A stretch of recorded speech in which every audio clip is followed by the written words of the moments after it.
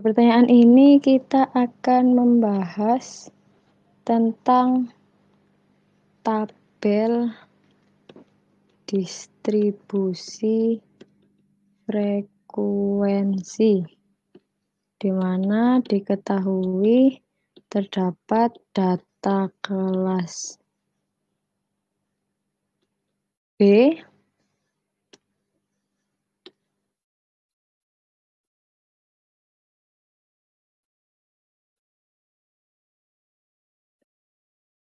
seperti berikut ini. Kemudian yang ditanyakan adalah bagaimanakah tabel distribusi frekuensinya?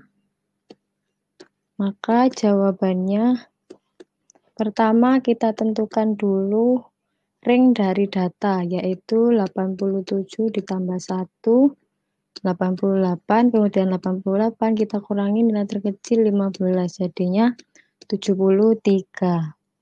Kemudian kita bagi kelasnya. Bagi kelas 73 dibagi 5 yaitu 14,6 atau kita taksirkan kita bulatkan menjadi 15 sehingga terbentuk tabel distribusi frekuensi, ini rentang nilai, ini frekuensi,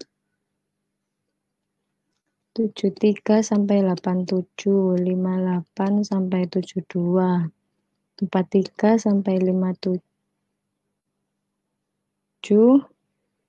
28 sampai 42, 13 sampai 27. Frekuensi masing-masing kelas yaitu 29, 18, 10, 1. Jadi ini adalah tabel distribusi frekuensinya.